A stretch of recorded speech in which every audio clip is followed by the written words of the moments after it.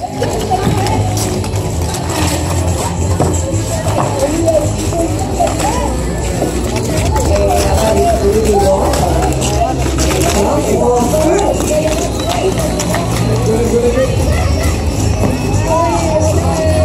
là bài thời trung Việt lắm Đi qua là về